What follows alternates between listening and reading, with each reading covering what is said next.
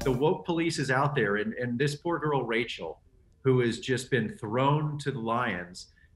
i don't know how you are equipped when you have never done this before to be woke enough to be eloquent enough